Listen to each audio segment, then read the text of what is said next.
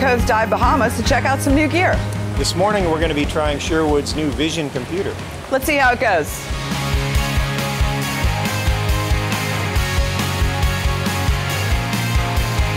Sherwood Vision Computer is a console that has four gas capability, a 2D compass, and full features.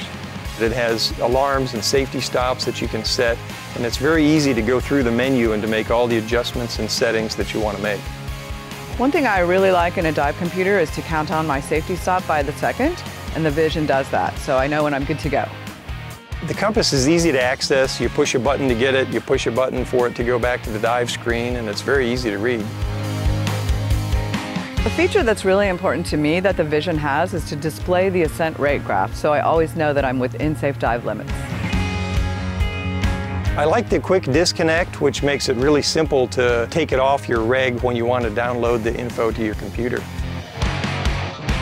I like that the Sherwood Vision puts in one small console your dive computer, your pressure gauge, and your compass, and it's very compact.